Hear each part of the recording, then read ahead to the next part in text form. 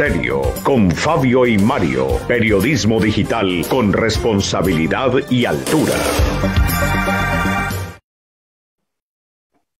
Son las 7 de la mañana, 14 minutos, amigos de En con Fabio y Mario, nuestro portal digital informativo. Un saludo muy especial desde esta hermosa capital de Risaralda, desde la ciudad de Pereira, que amanece con buen tiempo.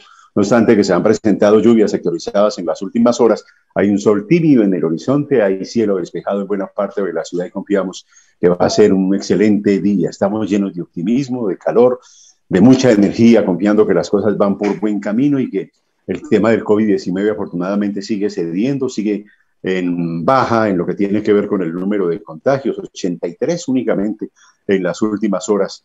Les contamos a ustedes si han registrado solamente dos fallecidos. Ojalá que no fuera ninguno, ningún contagiado. Y el nivel de ocupación de las unidades de cuidados intensivos UCI está en un 63%, lo que nos da la esperanza de que pasemos ya de la alerta naranja a la alerta amarilla. Pero reitero, no nos podemos descuidar. Temperatura aproximada en este momento en Pereira de 19, 20 grados centígrados, normalidad en las vías, normalidad en el inicio de las operaciones del Aeropuerto Internacional Matecaña. Contarles a ustedes que traemos un tema de mucha actualidad, un tema muy útil a la gente que pretende salir del país, ya que se han dado nuevamente estas posibilidades para muchas naciones del mundo, decirles que aquí en Lizaralda sigue adelante el proceso de expedición de pasaportes. Se ha disparado en buena parte hasta el punto de que ha sido necesario por parte de los directivos en cabeza de nuestro invitado muy especial, el doctor Leoncio Betancourt, quien hace varios años está a cargo de la oficina de pasaportes de la gobernación de Risaralda, pues se han mm, afortunadamente facilitado las cosas. Ya nos va a contar él cómo va el trámite de los pasaportes, las novedades que hay alrededor de este documento, las facilidades que tiene el gobierno departamental. Y decirles también que estamos, de alguna manera, ya voy con usted, mi estimado doctor Leoncio, permítame saludo a mis compañeros eh, James Agudelo en la parte técnica, Jorge Vázquez en redes sociales, sociales, a mi compañero Mario Marín. Mario, iba a decirle que estamos eh, indignados con lo que ha pasado con el sindicato de educadores que le dio tutelitis aguda y hágame el favor, hasta el SENA, los estudiantes del SENA y al parecer las universidades no pueden tener clases presenciales. Primero fue en Pereira, luego a nivel de Dos Quebradas, luego a nivel de Risaralda, me entero que el SENA también y al parecer varias universidades, que porque no están dadas las condiciones de bioseguridad. Si bien es cierto, no en todas, es una mínima parte, confiemos que va a pasar lo que ocurrió en Cali, que también allí suspendieron, pero ya demandaron la tutela y así ha hecho lo mismo aquí en Risaralda y podamos volver a tener los estudios presenciales. ¿Qué opina al respecto, Mario? Buenos días, hombre, ¿cómo amanece? ¿Qué tal? Buenos días, Fabio. Buenos días al doctor Leoncio, o Leonzo, mejor, porque es, el nombre, eh, ¿verdad? Todo el mundo le decimos doctor Leoncio y es Leonzo. Pero la verdad es, la verdad, Fabio, es que eh, los padres de familia están angustiados porque eh, dicen ellos que los hijos aprenden más con la presencial, que la virtual se, se, se, les complica más porque ellos tienen, deben de estar ahí pegados de los hijos. Hay padres de familia, usted sabe, que trabajan. Y bueno, todo este tema de la virtualidad, eh, no para todo el mundo eh, eh, es bueno, porque hay gente que todavía es, los embiste o nos embiste, podríamos decir. Así pues que esperemos que responda el juzgado frente a, esta otra demanda que le hacen a ese fallo de tutela. Y, bueno, por el bien de, de los alumnos y de los profesores, yo creo que la ministra fue muy clara anoche en decir que están dadas las condiciones. El señor presidente de la República también se pronunció y dijo que todo lo que se requería para, para estar en la presidencialidad lo va a hacer. Así pues que, y lo mismo el secretario departamental y municipal del de, eh, el departamento de Risaralda. Así pues que eh, esperemos a ver los fallos. Por otro, Fabio, eh, invitar a la gente a que mañana asistan al Olímpico Hernán Ramírez Villegas porque el partido es contra Envigado. Una cosa eh, es la presencialidad que están diciendo, que ya autorizaron 9.200, 9.600 personas, pero eh, nosotros eh, siempre y seguiremos insistiendo con el, los protocolos de bioseguridad, el distanciamiento, tapabocas obligatorio deben de llevar los asistentes al Hernán, al Hernán Ramírez Villegas eh, frente a este partido Envigado, Deportivo Pereira, Deportivo Pereira, Envigado. Esperamos que haya triunfo, ¿no? Y claro seguiremos, seguiremos respaldando nuestro Deportivo Infarto, perdón, nuestro Deportivo Pereira. Así que es que, eh, Fabio, ahí estaremos pendientes mañana del partido y seguiremos trabajando. Claro que sí. Mario, lamentar igualmente antes de ella con los invitados del doctor León Sobetancourt la muerte de un amigo muy querido, un verdadero gestor cultural, poeta, escritor, el creador del Festival Luna de Locos, del Cine con Alma, de la Cámara de Comercio, de la Feria del Libro, del Eje Cafetero, hablamos de nuestro amigo, colega Giovanni Gómez Gil, se dio cuenta que se nos fue el pasado sábado, hombre, qué tristeza, 15 días luchando contra el COVID en un centro asistencial de esta capital y lamentablemente perdió esa batalla, hombre. No sabe el dolor tan grande que nos emparga. Nuestro voz de condolencia para la familia de Giovanni, nacido en Bogotá hace 42 años, llegó a Pereira, echó raíces, aquí se quedó y vea, hombres, nos quitaron un ser maravilloso como muchos de los que se han ido por culpa de este COVID-19 y eso nos demuestra que esa enfermedad todavía está viva, Mario. ¿no? Así es, Fabio, un sentido de condolencia a toda la familia. Giovanni dejó huella en nuestro departamento y y bueno, un gestor social y cultural impresionante. Así pues que, eh, bueno, con mis condolencias para toda la familia. Aquí lo tuvimos en varias oportunidades, yo lo tuve en Telecafé, participé muchas veces con la revista Vecino Café en las ferias del libro, nos invitaba de manera permanente. Un saludo solidario también a toda la familia de la Cámara de Comercio de Pereira por esta lamentable pérdida de este invaluable hombre, este gestor cultural, que seguramente va a hacer mucha cultura allí en, en las cortes celestiales al lado de los grandes gestores de la cultura que se ha llevado el COVID, que la vida ya los tiene disfrutando de, de las cortes celestiales. En fin, ¿qué vamos a hacer? La vida sigue adelante y, confiemos en Dios que, que, el hombre esté gozando de toda la gloria de nuestro Señor allí en, en el cielo. Vamos ahora sí, Mario, con nuestro invitado muy especial, doctor Leonzo Betancourt, director de la Oficina de Pasaportes de la Gobernación de Risaralda. Muy buenos días, bienvenido, hombre en serio, con Fabio y Mario. ¿Cómo está su salud? ¿Cómo está la salud de sus empleados? ¿Y cómo está el ambiente para la expedición de los pasaportes que usted tiene a su cargo? ¿Ya hace cuánto está en esa oficina? ¿Son 10, 12 años? ¿Cuánto lleva usted al frente de esa entidad? ¿Qué tal? Bienvenido. Muchas gracias, doctor Fabio y doctor Mario. Muchas gracias por la invitación. Eh, pues sí, yo llevo en la, la gobernación de Risaralda dirigiendo esta oficina 13 años. 13 años, hágame el favor. Años, pues, mm, he, he, manejado todo el proceso desde la expedición de pasaportes que se hacían eh, acá directamente y que se entregaban en 30 minutos, allá el proceso nuevo que se montó desde el 2010 con el pasaporte de lectura mecánica. Entonces, mire que, que nuestro pasaporte por lo menos eh, ya, cogió, ya, tiene una identificación ya tiene una credibilidad porque es un pasaporte, uno de los pasaportes más seguros en el mundo. Y eh, prácticamente ha tenido tres modificaciones eh, y en este momento tenemos el último que es con captura biométrica. O sea, cada vez a los pasaportes le ponen más seguridad para que la gente esté más segura viajando y fuera de eso que no tenga tanto inconveniente, para no ser estigmatizado por ser colombiano. Me parece supremamente importante la continuidad que le han dado los diferentes gobernadores al doctor Leonzo en la, eh, o en la edición de pasaportes.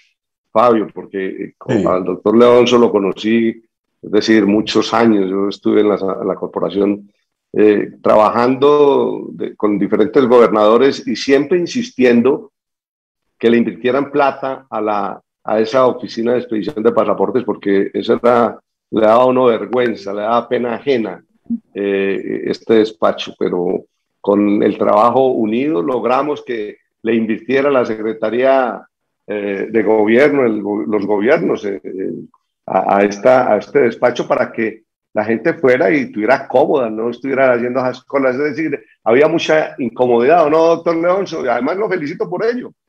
Efectivamente, doctor Mario, usted fue uno de los partícipes de que estas oficinas se se modernizaran y que les invirtieran algún dinero, porque como yo he dicho, estas son, unas, estas son unos, unas oficinas, una unidad de negocio, donde usted eh, genera un valor agregado y es prácticamente la caja menor de la gobernación.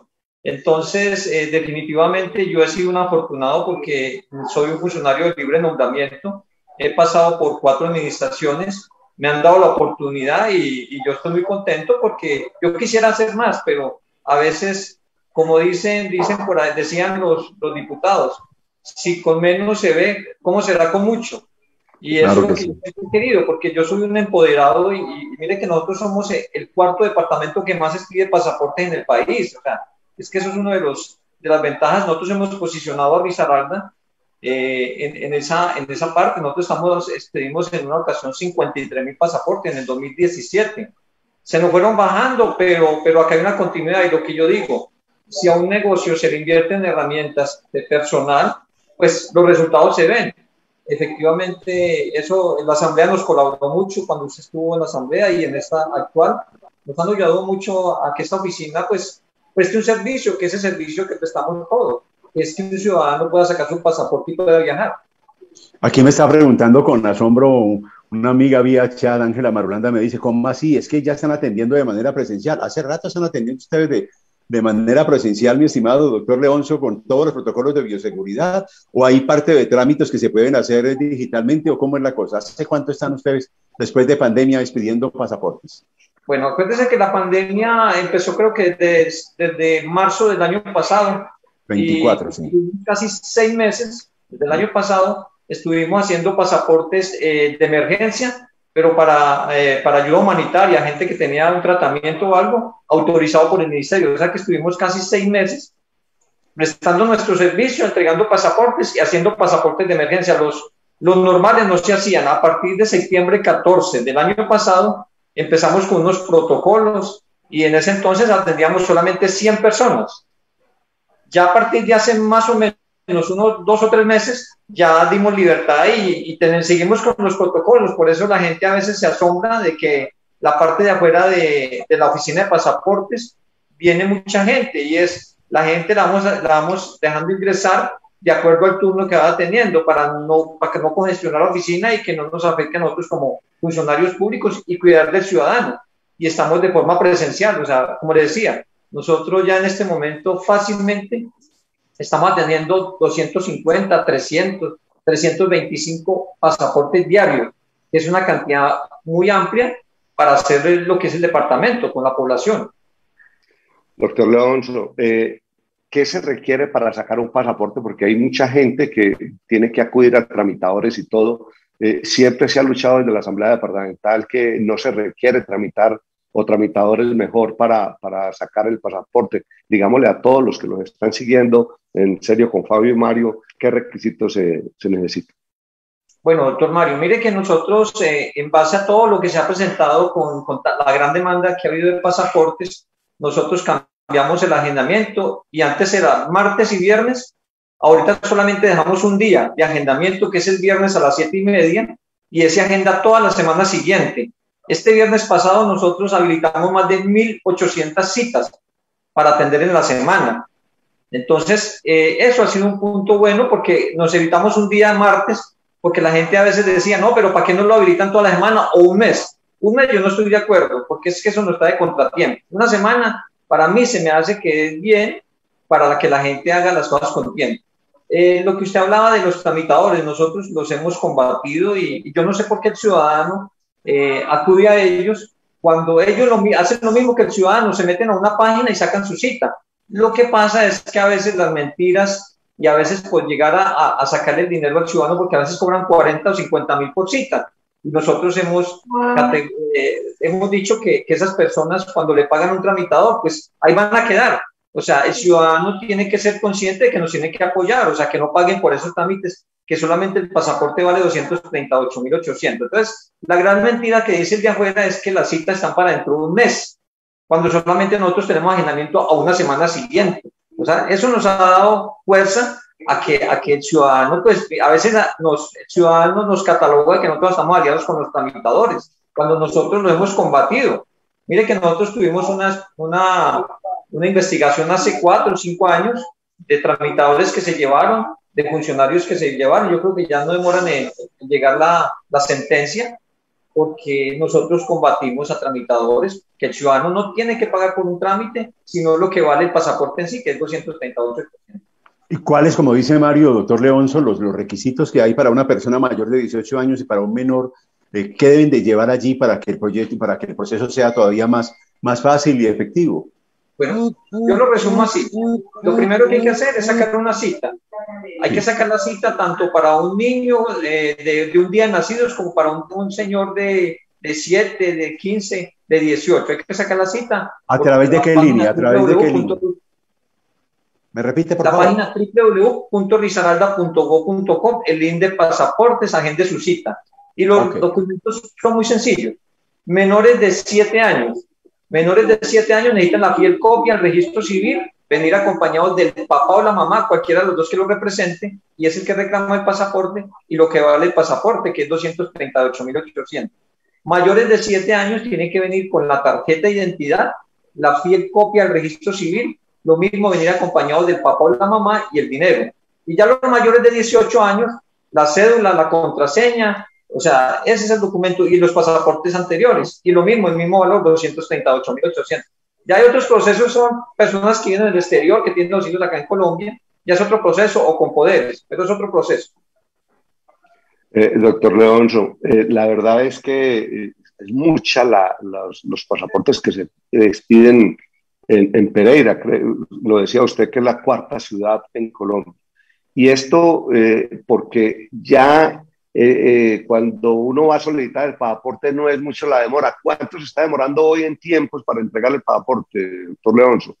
Doctor Mario, mire, después de que esté la persona en la oficina, un trámite con una persona mientras se formaliza, porque hay que tomarle la foto, escanearle huella, eh, hay que la firma, ese proceso se demora 5 o 10 minuticos con el formalizador. Y tenemos la gran ventaja de que también es otra de las ventajas que tiene esta gobernación, después de una lucha de más de cinco años, pudimos montar el Banco Sudamérica el año pasado.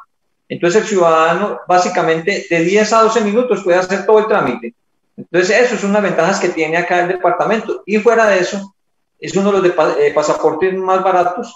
Si usted lo, compara con Armenia, con, eh, con Caldas o con el mismo Cali o Medellín, nosotros somos de los pasaportes más baratos en este momento que hay en el país. El mismo Bogotá, doctor Leonzo. ¿Señor?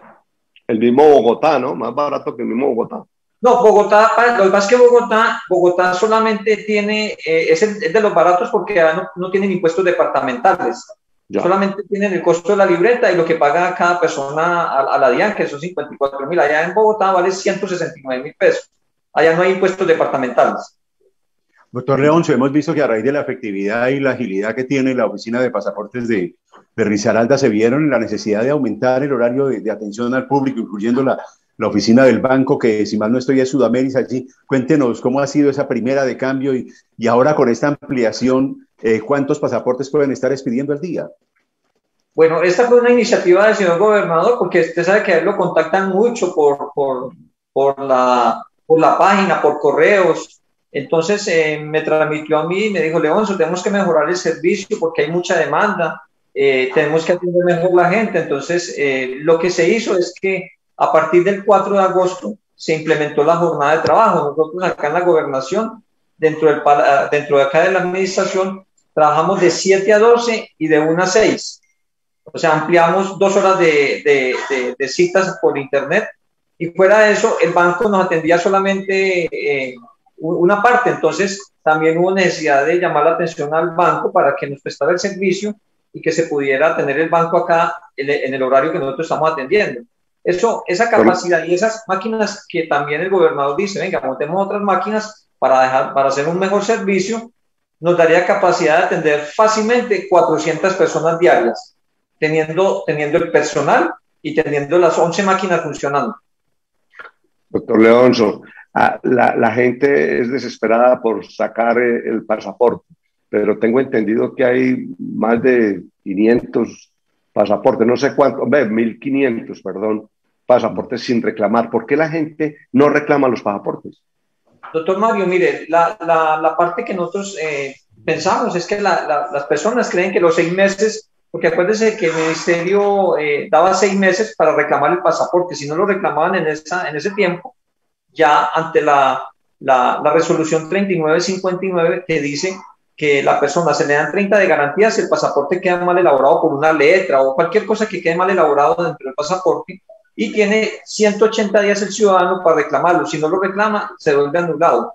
Entonces acuérdese que nos cogió la pandemia, entonces y hubo la emergencia sanitaria. Mientras prevalezca la emergencia sanitaria, mientras no la derogue el presidente, los pasaportes se siguen guardando hasta que el ciudadano venga y lo reclama. Después de que quiten esa, esa emergencia sanitaria, esos pasaportes al otro día se convertirán en anulados y se mandarán a Bogotá y el ciudadano le tocará volver a pagarlo. Entonces, la, la recomendación es que tenemos más de 1.800 a 2.000 pasaportes que las personas pueden venir a reclamar. O sea, después vuelvo y les digo, después de que la emergencia sanitaria, el, el presidente la derogue, automáticamente al otro día esos pasaportes pierden la vigencia y hay que devolverlos anulados. Que aproveche el ciudadano reclamar su pasaporte.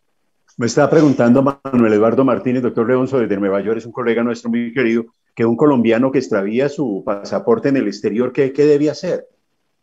Sí, eso es importante. Mire, acuérdese que nosotros tenemos los, consulados en el exterior y ellos son una Colombia pequeñita. Entonces, eh, esas personas tienen que ir a solicitar en ese consulado el nuevo pasaporte, pagarlo y fuera de eso, ellos hacen también la función de registraduría, también sacan contraseñas, también sacan cédulas, o sea, hacen todo el proceso. Entonces, esos consulados se encargan de hacer ese proceso también, en caso de que se pierda un pasaporte. Doctor Leonzo, ¿cómo ha funcionado la virtualidad ahora en este proceso de pandemia que todo el mundo pues nos, nos cambió eh, la forma de, de, actuar, de trabajar, es decir, de vivir? Doctor Mario, mire, eh, eh, pues como nosotros decíamos, nosotros estamos muy preocupados porque el año pasado fueron seis meses donde nosotros no pudimos prácticamente hacer el proceso que hacíamos. O sea, nosotros dejamos de despedir más o menos unos 24 mil unos 24 mil pasaportes. Eso dejó de recibir el departamento más de 1.600 millones. Entonces, eh, en estos procesos tiene que ser una forma presencial, no virtual. Entonces, con ese tiempo que hubo los contratistas y todo lo que, lo que pudimos hacer fue vincularlos a otras secretarías para que pudieran prestar ese servicio y pudieran tener sus evidencias de que realmente estaban trabajando. Entonces, eso es lo que nos dio. Nosotros, eh, nuestro proceso sí es presencial, no, no lo deja virtual porque es un proceso que hay que tomarle la foto, hay que escanear los documentos, hay que mirar a la persona a quién le estamos haciendo nuestro pasaporte. Sí, doctor Leonzo, pero te digo yo por la virtualidad es porque hay un día en la semana, el día viernes, como tú dices, para agendar la cita. Eh, eh, nos dicen que colapsa la página, ¿es cierto o no? Doctor Mario, mire, nosotros eh, estuvimos casi 15 días, precisamente 15 o 20 días haciendo pruebas con la empresa que nos da soporte y tuvimos unos inconvenientes. Quisimos dar una, un, salto en, identificar IPs en el sentido de, de quién hacía todo ese proceso, porque nos decía el ciudadano que, que los de afuera eran los que ocupaban todas las citas. Entonces, no, no, yo no entiendo, o sea, cuando uno, cuando uno lanza un proceso de Internet para todos los ciudadanos y la persona tiene Internet, pues todo el mundo tenemos facilidad para sacar una, una cita. Lo que pasa es que desafortunadamente las personas de afuera, e, e, ese es el cuento que hacen. Inventan o le ponen más trabas a un proceso para que el ciudadano efectivamente los, los contrate y ahí les pague. Y eso, mire, mire usted, usted sabe muy bien cuando en la asamblea nosotros teníamos el Banco Sudamérica en el centro y la gente le pagaba para que la persona fuera y caminara 7, 8, 8 cuadras y le pagaban 15 o 20 mil pesos. Cada vez le vamos acercando más el, el, proceso a, a, los tramitadores hasta que llega el momento en que el ciudadano no tiene que utilizarlo. Mire, ya básicamente si ellos sacan la cita, es como si el ciudadano también sacara la cita, o sea, yo no sé por qué les pagan. Me parece, me parece, doctor Leonzo, que eh, la oficina de pasaportes ha hecho un trabajo impresionante.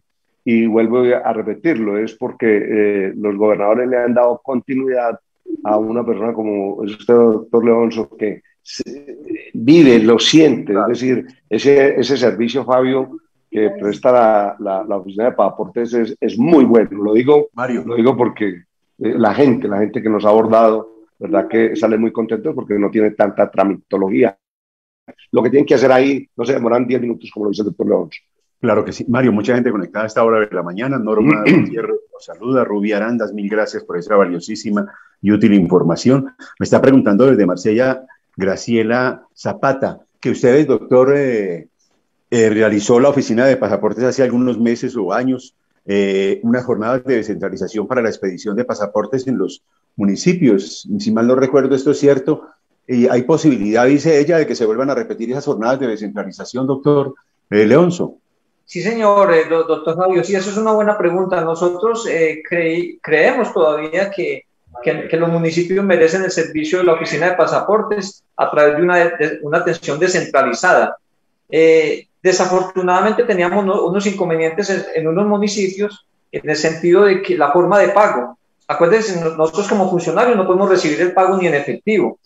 Entonces, en lo, en lo último que nosotros hicimos, que fue el año antepasado, que, que fue antes de pandemia, pudimos visitar unos municipios Y lo que hacíamos era básicamente, básicamente era, era contactar la vivienda para que todo lo consignaran ahí. Yo creo que ya en este, en este año, no sé si alcancemos a hacer cuatro jornadas, inclusive en Belén de Umbría, eh, Los Quebradas, Santa Rosa, eh, tenemos cinco o seis municipios que tienen la vivienda que podemos hacer todo ese proceso. Pero a mí, a mí personalmente, yo creo que hicimos una buena gestión descentralizando la oficina, que el ciudadano se favorezca con el servicio. Eso es de impulsarlo más y, de haber una logística para poder hacer ese desarrollo de, de esa actividad. Doctor Leonzo, ¿cuánto tiene vigencia un pasaporte? En este momento la vigencia del pasaporte son 10 años. Pero no hay que olvidar que, que, las personas cuando sacan un pasaporte a los 15 o 16 años, cuando ya cumplen mayoría de edad, a los 18, automáticamente tienen que cambiarlo. O el niño que cumple lo, está de 6 y cumple los 7 y tiene tarjeta de identidad, tiene que cambiarlo. Esos son cambios obligatorios exigidos por el ministerio. Esa es la vigencia de, del pasaporte. Y fuera de eso, importante, doctor Mario, es que los pasaportes antes de seis meses, o sea, antes de vencerse, seis meses antes, usted tiene que empezar a hacer su proceso de, irlo renovando.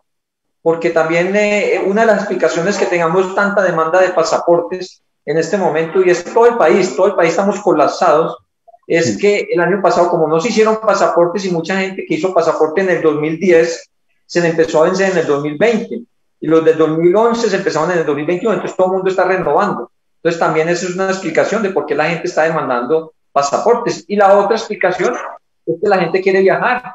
O sea, la gente ya no quiere guardar el dinero, dice, no, venga, hay que guardar, o sea, esto está muy duro, por lo menos démosle un, un disfrute a la vida, viajando. Y ustedes en esas encuestas o en esas preguntas o esos formularios le permiten eh, conocer eh, los destinos que, a los cuales están más viajando en este momento los colombianos. Sigue siendo el éxodo muy grande, por ejemplo, a zonas como Chile, a zonas como España, o a qué países concretamente, si lo pueden hacer, si pueden indagar ese proceso, doctor Leonzo. No, doctor Fabio, esa parte no la, no la podemos eh, medir porque el ciudadano pues es libre de viajar donde quiera. Por ejemplo, si se va para Estados Unidos, lo, lo, básico es hacer una visa. Pero en la percepción que nosotros nos dan es que viajan mucho a Estados Unidos, a España, a Europa, a la parte de Sudamérica, va mucho para Chile, para Perú, para Ecuador.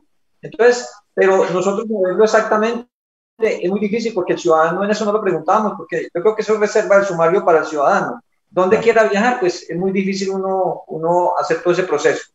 ¿Son más hombres o mujeres los que están solicitando hoy en día eh, expedición de pasaporte, doctor León, aquí en Risaralda? Eso va muy, muy, muy de la mano, casi 50 y 50. Claro que sí. Bueno, y otra pregunta que le quería hacer, doctor León, sobre el tema de la falsificación de, del pasaporte. Afortunadamente no es muy recurrente noticias en ese sentido. Ese fenómeno no se está dando casi, dada la, seguridad, la alta tecnología que tienen estos documentos? Yo digo que, que esto es de los pasaportes que básicamente se han preocupado por, por darle más seguridad y, de los más modernos que tenemos en este momento es este. Inclusive este último que tenemos que es con captura biométrica se empezó a salir desde el 2017, a finales de, de noviembre de 2017. Y ese pasaporte, hasta donde yo he escuchado, no ha habido ninguna falsificación. Es muy difícil porque es un, eh, es un material, un policarbonato, es una pasta grande, gruesa, eh, donde van todos los datos de la persona, va encriptado toda la, la, la, información. Y fuera de eso, cuando la persona va a viajar, en Migración Colombia hacen, hacen ese tipo de, de cotejo de información. ¿Quién es el padre, la madre? Por eso es que es tan importante el ciudadano traiga todos los documentos, el que lo represente sea el padre o, o los poderes, cuando vengan los poderes, pues sean, sean auténticos, porque a veces también tratan de falsificar poderes. Lo otro es a veces de pronto la, la suplantación de identidad. Eh, a veces la gente se descuida cuando le pierde una cédula, no pone denuncia y ahí es cuando vienen otras personas a suplantar identidades, que cambian la foto y le dejan los mismos datos. ¿Se puede tramitar pasaporte con contraseña de cédula, doctor Leonzo? Sí, señor. Eh, la contraseña es válida. Eh, cuando es por primera vez, eh, hay que pedir un anexo de, del registro civil y entonces sí es, sí es válido. Y fuera de eso, cuando es contraseña de los muchachos que viven en el exterior, que son hijos de un padre o madre colombiano que estaba legalmente allá, hay que traer el registro civil para mirar quién le dio la, la nacionalidad a, a, la persona. O sea, si la dio la madre, hay que, hay que pedirle registro civil y, y copia la cédula de la madre, para evitar todo ese problema que tenemos de que de pronto haya una suplantación o que de pronto nos traigan documentos que no deben tener y, que son exigidos por el ministerio. Doctor Leoncio, ¿cuánto? Siga, no, siga, tranquilo. ¿Qué le, ¿Qué le, está representando al departamento en materia de ingresos la expedición del pasaporte? No el año anterior, sino el año antepasado, que era un año normal. ¿Cuánto le dejó al departamento? Si podemos hablar que es una especie de renta, porque tengo entendido que una parte de, esos 200, cerca de 240 mil pesos, se van para la, Cancillería, pero ¿cuánto le queda a Risaralda y esos recursos en qué se invierten, doctor Leoncio? Sí, mire, eh, el costo del pasaporte es 238.800 y va discriminado así. Son 115.000 que vale el costo de la libreta, que es del ministerio. Son 54 mil pesos que paga cada ciudadano por, por emitir un pasaporte en cualquier ciudad. Y los impuestos departamentales, que son 69.800. Eh, esas, esas, eso es lo que le queda al departamento y eso tiene una destinación, eso va para libre inversión, a veces viene para infraestructura y salud. O sea, tiene una destinación específica y otra de libre destinación. ¿Y recuerda cuánto nos dejó en utilidad ese pasaporte en el año 2018, antes de la pandemia, por ejemplo, doctor, o no? Pues yo en el, en el año 2000, en el, amigo, acá una, una partecita que yo tengo unas estadísticas. Claro. en el año, en el año 2018 en el año 2018 nosotros expedimos 48.863 pasaportes, multiplíquelo por 69.800. Y ya en el año 2000, en el 2020 hicimos 17.098. Mire la baja tan grande que hubo. Entonces, fueron ingresos que dejó de recibir el departamento. Puedo decir yo que dejamos de hacer más o menos eh, 24.000 pasaportes, que eso más o menos representaba unos 1.600, 1.700 millones para el departamento. Doctor León, la, la, verdad es que uno, tanta gente que sale del país, tanta gente que va a tramitar su pasaporte, y uno dice, bueno, ¿y por qué van y tramitan el pasaporte y no, no, lo, no, lo, no lo retiran? La, la, verdad es que es una gavela que tiene ahora que el gobierno nacional a través de la, pandemia ha permitido que, que, se guarden esos pasaportes. O sea, una vez derroguen, derroguen esa, esa medida, tienen que volver a tramitar el pasaporte. Efectivamente, doctor Mario, es una buena observación y, yo lo que yo le digo y nosotros lo hemos recalcado durante casi 15 días, le hemos dicho a las personas a través de todos los medios, reclamen su pasaporte, no lo dejen, no lo dejen acá porque después de la emergencia sanitaria que la derogue, automáticamente al otro día el ministerio nos manda circular en la cual nos dice todos esos pasaportes que están represados y que ya cumplieron ese ciclo desde septiembre 21 del 2019, que es lo que estamos diciendo, septiembre del 2019 hasta, hasta la época de, porque hay que tener en cuenta que seis meses son la vigencia que da el ministerio para que lo reclamen. Si no lo reclaman, pues desafortunadamente el ciudadano perdió ese dinero por no venirlo a reclamar. Entonces, que no es cuestión de nosotros, porque ahí vienen las tutelas y, las demandas, que es que yo no sabía. Eso no sabía Ahora tienen gabela. Después de que llegue ese momento de derogar la emergencia sanitaria, todos sus pasaportes van anulados a Bogotá. Doctor Leonzo, otra preguntita ahí, Fabio, perdóneme, eh, y es el apostillamiento. Eh, eh, ¿La oficina de pasaportes está facultada para hacerlo o no? Doctor Mario, creo que fue en su, cuando usted estuvo en, de diputado, eso fue en el año 2009, si mal no estoy, en el 2009, se nos, nos, autorizó el Ministerio de Relaciones Exteriores a través de gestión que hicimos en esa época con el, con el gobernador que está actualmente, solicitamos que, porque eh, eh, eh, la oficina de pasaportes podía hacer ese proceso de apostillar. Nosotros nos dieron esa, esa gabela y yo me acuerdo que, que apostillamos más de 30 mil o 35 mil pasaportes, que eso le generó al departamento más de 800, 900 millones y era un proceso muy sencillo era un proceso donde la firma que yo tenía registrada y estaba avalada ante el ministerio, esa firma, eh, los documentos que se hacían acá en Colombia iban a tener validez en más de 100 países que están dentro del convenio de la Haya. En el 2014 nos quitaron ese, ese aval porque ya el, el, gobierno, a través de la Cancillería, ya optó porque los procesos se hicieran en línea. Había mucho tramitador que se presentaba para eso, entonces ellos dijeron, no, que el ciudadano pague lo que vale la postilla. Creo que en ese entonces o ahora está como en 32 mil o 35 mil pesos un apostillamiento. Y es que un documento de acá de Colombia tenga validez en Estados Unidos, en España, todos los países que están en ese convenio de la Haya. Claro que sí. Siete de la mañana, 49 minutos. Estamos con el doctor Leonzo Betancur. Él es el director de la Oficina de Pasaportes de la Gobernación de Risaralda. Permítame, doctor Leonzo Mario, vamos con un corte breve de comerciales. Ya retornamos con usted aquí en la parte final de En Serio con Fabio y Mario. Ya volvemos. Muchas gracias.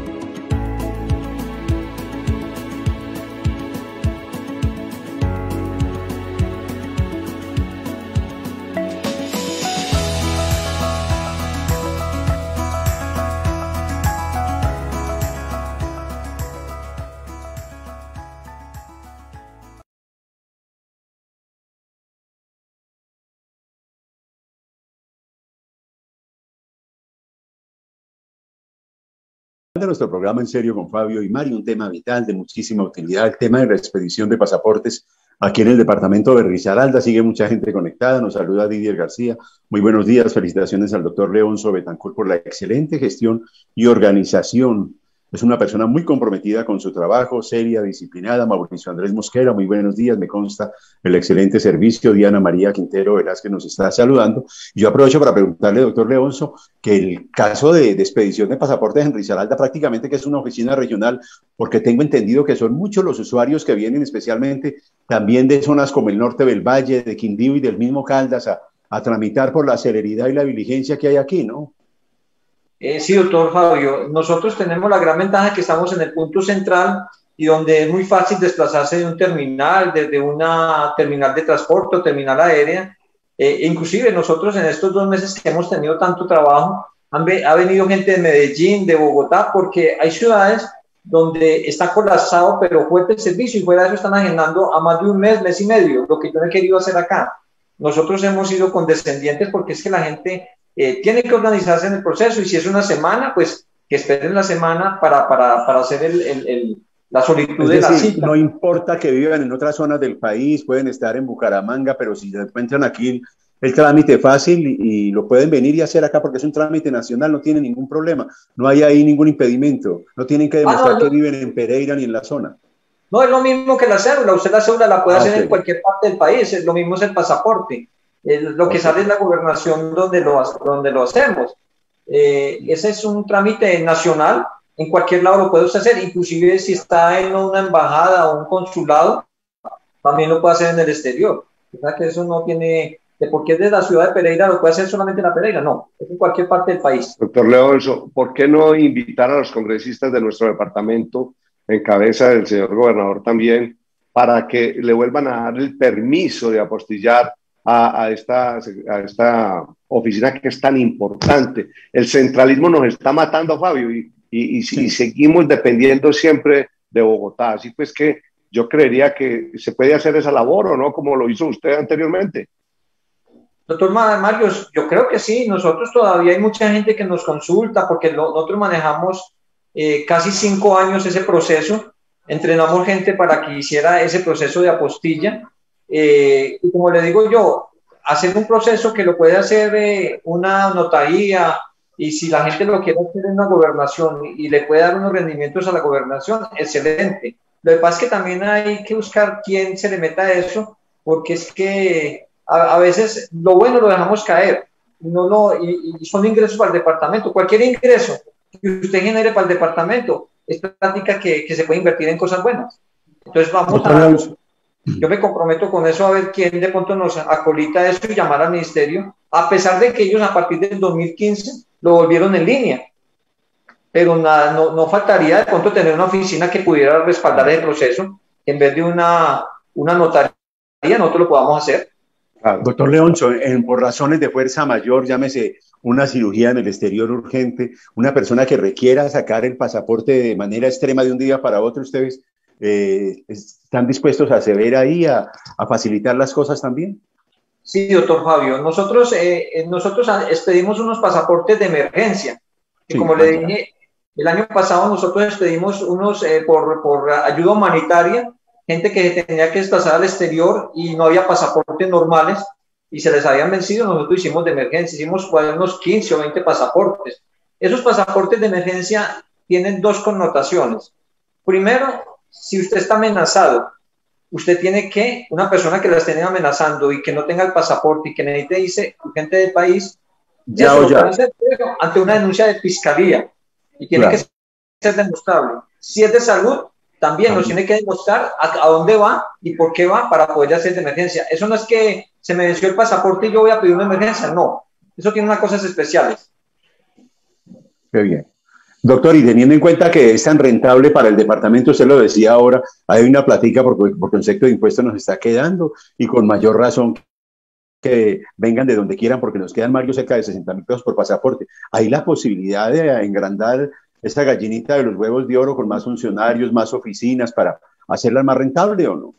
Sí, señor. Eh, en, este momento yo tengo ahí, hay 12 funcionarios, tenemos 7 formalizadores, 2 en entrega, 2 en información. Eh, eh, estoy yo como persona de libre nombramiento que dirige la oficina.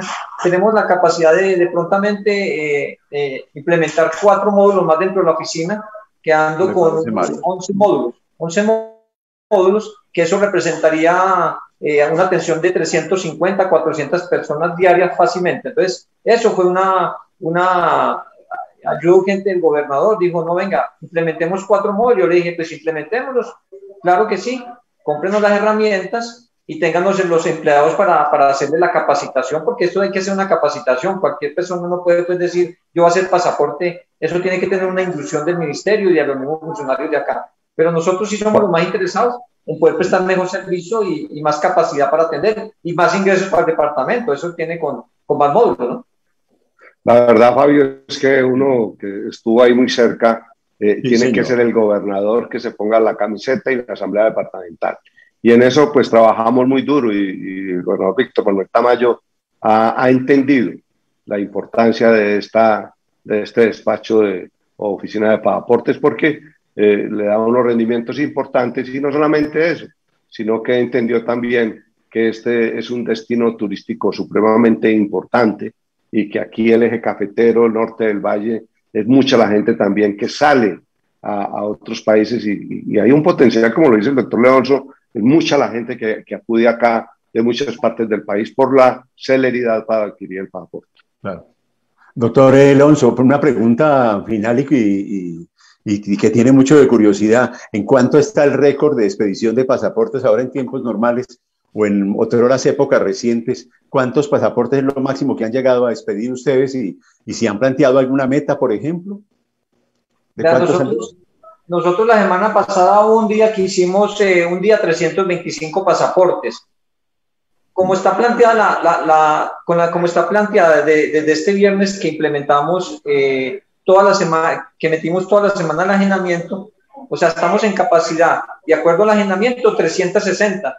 El gran problema que nosotros tenemos es que la gente dice que es muy complicado sacar las citas, pero la gente está sacando citas y a la media hora las está cancelando, una. La otra es que saca citas y no viene a la oficina, entonces le está quitando cupos a otras personas que realmente lo necesitan. Entonces, miren que son críticos, pero no, no colaboran. Entonces uno no entiende, o sea, si hay pocas citas, malo. Si hay muchas citas, se ponen en, en, en, la página, pero la gente de esas 360 o 350 no viene sino 300, 320. Entonces, mire que le están quedando... forma de sancionar, un, por decir algo, a quienes incumplen si no justifican el por qué no fueron o no? Lo que pasa es que la sanción no la podemos nosotros hacer. O sea, eso es, tocaría llevarlo a la asamblea si debería haber un castigo, ah, pero hasta donde yo sé, hasta donde yo sé, ese castigo uno no lo puede hacer porque el ciudadano argumenta cualquier cosa de que no pudo hacerlo, que tenía cita médica. Nosotros, pues no somos, pero sí le quitan la oportunidad a otras personas que, quieren sacar el pasaporte. Doctor Leonzo, eh, la verdad es que uno en el tema de, de, de, pasaportes y de visas, pues mucha gente no conoce y me dicen, me preguntaron ayer incluso porque se dieron cuenta del banner que colocó, el copy que colocó Fabio, de que iba, lo íbamos a tener hoy, nos preguntaban, si mi pasaporte se vence y tiene la visa vigente, ¿tengo que andar con los dos pasaportes? Eh, sí, señor. Eh, nosotros lo que hacemos es que le anulamos el pasaporte que usted va a renovar, ese pierde vigencia, queda la visa vigente y queda con el nuevo pasaporte. Entonces, si hay una visa de Estados Unidos en el pasaporte anterior y tiene un nuevo pasaporte, mientras vaya a Estados Unidos tiene que cargar los dos. Eso está correcto, eso, eso se tiene que hacer. Eh, eh, básicamente es eso, o sea, las, visas no, las visas no se cancelan porque nosotros no somos los que cancelamos las visas. Si están vigentes, siguen vigentes los pasaportes anteriores y las nuevas renovaciones pues siguen con el nuevo pasaporte porque automáticamente lo, lo cancelan, el anterior lo cancelan, más no la visa. Aquí me pregunta Jorge Vélez de Santa Rosa de Cabal que en cuánto se demora para entregarle, que él va a hacer trámite de la, del pasaporte y si se lo entregan ahí mismo o cuánto, en cuánto tiempo de volver a reclamar. Sí, mire, lo, el ministerio, en base a toda la pandemia que, que, que se tuvo y que se tiene, eh, limitaron las entregas. El ministerio solamente nos entrega otros pasaportes los martes y los jueves. O sea, una persona, una persona que de pronto haga un pasaporte el viernes y el lunes, le está llegando entre martes y jueves. El que haga un pasaporte el jueves, le está llegando al martes de la semana siguiente o el jueves de la semana siguiente. ¿Ustedes lo envían por correo o tienen que reclamarlo personalmente? Hay que reclamarlo personalmente porque hay que poner la huella. Ah, ya. La huella es básica, eh. no se le puede dar poderes a nadie, a excepción de los menores de edad, que se dan poderes y es el único el que, el que puede eh, reclamar el pasaporte. El resto de los adultos con huella tienen que reclamarlo personalmente para, para poderlo habilitar y pueda, que pueda viajar. ¿Hay pasaportes ejecutivos, doctor Leoncio? ¿Y quiénes lo pueden solicitar? Los pasaportes ejecutivos, eh, sí, eh, esos pasaportes tienen 16 hojas más. O sea, el pasaporte normal te da de 32 páginas. Eso no es para las personas que viajan eh, ocasionalmente, lo utilizan dos, tres, cuatro, cinco veces en todo el proceso de los 10 años. Y hay gente que viaja mucho por negocios y esas personas sacan el ejecutivo. Tiene 48 páginas. Ese pasaporte, ese pasaporte vale 328.800. O sea, tiene 90 mil más de, de costo, pero tiene 16 páginas de más. Pero tiene que justificarlo para poder que se lo den o ya es el libre albedrío, démelo por tantas páginas. No, señor, cualquiera lo puede sacar. Usted me dice, quiero un pasaporte ejecutivo, pues yo se lo puedo hacer. O quiero un pasaporte normal de 32, normalmente. Pero eso es básicamente porque la persona viaja mucho, entonces eh, para que no se le agoten las páginas rápido. Exactamente, doctor Mario, esa, esa es la razón. O sea, que saca un pasaporte de, buenas hojas para evitarse también, como viajan demasiado y, y viajan a Europa, viajan o, empresas multinacionales de Colombia, eh, con colombianos que trabajan acá necesitan viajar demasiado, entonces ellos lo sacan. Entonces, pero cualquiera, cualquier persona lo puede sacar como ejecutivo, el que lo quiera y que quiere viajar y se programe para viajar en los 10 años y utilizar todas esas páginas. ¿El pasaporte ordinario tiene cuántas páginas, doctor? 32 páginas. 32 páginas. Mario, es excelente la ilustración y la información valiosísima que nos ha entregado este hombre. Se nos acaba el tiempo, hombre, pero realmente maravilloso. Mucha la gente conectada, qué buena y qué oportuna esta información. Mire usted, sin duda, Mario, que una de las mejores y más rentables oficinas más efectivas que tiene el departamento, ¿no? Sí, claro, Fabio, la verdad es que eh, me puse la camiseta de, de la oficina de pasaportes porque siempre lo he reconocido públicamente y en privado un hombre que le duela a esa secretaría, como el doctor Leonzo, es muy difícil encontrarlo. Vive pendiente al tanto de todo, eh, actualiza todo, es decir, investiga y es, oiga, pues, es militar, es un hombre que rayado en el horario, en todo. O sea, eso es lo que ha permitido que los diferentes gobernadores le, hayan ratificado. Más es por lo, lo, diligente que es y la responsabilidad y seriedad con que ha manejado o la oficina de paro. Me atrevo a decir, Mario, que sería un error removerlo de ahí. Es del libre, del libre nombramiento y remoción, pero hay que dejarlo ahí porque cuando las cosas marchan bien y el funcionario es bueno, como él lo ha demostrado, por Dios, hay que seguir, que siga. Si tengo una buena alineación, un buen equipo, ¿para que la cambio? Y este hombre definitivamente como capitán de ese barco lo ha demostrado. Doctor Leoncio, Dios le pague nuestro reconocimiento, nuestra felicitación, nuestros parabienes, un mensaje final por Dios para, para toda la audiencia que nos está viendo y tenemos el llamado a la gente, son cerca de 1.500, 1.600 personas que aún no reclaman este pasaporte para que vayan y lo hagan y para que aprovechen estos nuevos horarios que tiene la oficina de pasaportes. Eh, sí, doctor Fabio, sí, muchas gracias por las palabras y usted sabe que lo hacemos de corazón. Eh, eh, definitivamente, cuando a uno le dan confianza, y, yo siempre he sido muy disciplinado, o sea, si el jefe no, no, no es disciplinado, entonces los funcionarios cómo trabajan. Y yo siempre me he comprometido con el proceso. Eh, definitivamente, al ciudadano que por favor reclame su pasaporte expedido después del 21 de septiembre del año 2019, que no lo dejen mucho tiempo, que después de que pasen los seis meses eh, perdón, después de que venga la derogación de la emergencia sanitaria por parte del presidente, esos pasaportes viejos que cumplieron más de seis, años, de seis meses se devolverán anulados al ministerio. Lo otro es que el ciudadano, por favor, saque la cita por internet, se programe, o sea, uno todo lo programa.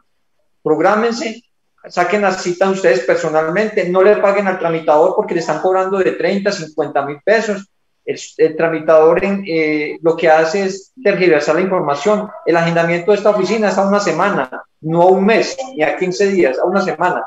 No le paguen al tramitador, háganlo directamente, utilicen la página. Que nosotros eh, estamos habilitando más, unas 1.800 citas semanales. Si la persona no coge una cita, por lo menos, imposible. Entonces, eso le reiteramos al ciudadano, que estamos para prestos a servirles ya que esta oficina pues sea eficiente como todo lo que hemos querido los funcionarios, porque yo tengo un grupo de trabajo, no solamente lo hago yo, es el grupo de trabajo que tengo, muy comprometido. Es más, nosotros nos comprometimos a trabajar hasta las 6 de la, de la tarde, cuando la gobernación trabaja hasta las 4. O sea, para ayudarles a los ciudadanos que saquen su pasaporte de una forma como debe ser. Un equipo comprometido que tiene el doctor Leonzo. Felicitaciones por, por, por, la diligencia que viene y el trabajo que viene haciendo la, Secretaría y vamos a hablar, doctor León, me comprometo a hablar con algunos representantes amigos para que traten de, tener el apostillamiento nuevamente ahí. Cualquier peso que le entre al departamento es para la salud, para inversión social, para tantos recursos que requiere. Claro que sí. Muy amable, doctor Leoncio. Decirle a la gente igualmente, Mario, que compartan esta valiosísima información que nos ha entregado este hombre, este link que ustedes eh, les queda ahí a través de nuestro Facebook Live para que lo irradien, compartan a la gente que tiene dudas sobre el tema de la expedición de pasaporte. No es difícil, es un trámite muy fácil y aquí en Risaralda sí que es bien, pero bien efectivo. Feliz día, doctor Leonzo. Muchas gracias por estar con nosotros. Muy amable. Muchas gracias, doctor Fabio, doctor Mario. Gracias por acá la orden, lo que se le... Sí, señor. Muy amable por estar con nosotros. Mario, mañana Dios mediante el tema educativo que está a la orden del día con los secretarios de educación de Pereira y Risaralda, lo vamos a ventilar ahí, a ver qué es lo que está pasando con, con ese tema de la infraestructura educativa, ¿le parece? Así será, Fabio. La gente estará, padres de familia y todo, angustiados porque no saben eh, qué va a parar este, esta interinidad, que la, verdad es que es, unos días sí, otros días no. Claro que sí. Nos vamos. Ustedes muy amables por estar con nosotros. Les reitero, compartan toda esta valiosa información que tiene que ver con la expedición de pasaportes en la ciudad de Pereira, una de las oficinas más diligentes y efectivas del país para esos procesos. A ustedes, como siempre, muy amables por estar en nuestra sintonía. Le decimos James Agudero en la parte técnica, Jorge Vázquez en redes sociales, Mario Marín y este servidor Fabio Castaño Molina. Gracias por estar con nosotros. Mañana, Dios mediante otros invitados muy especiales. Que la pasen bien. En serio, con Fabio y Mario, periodismo digital con responsabilidad y altura.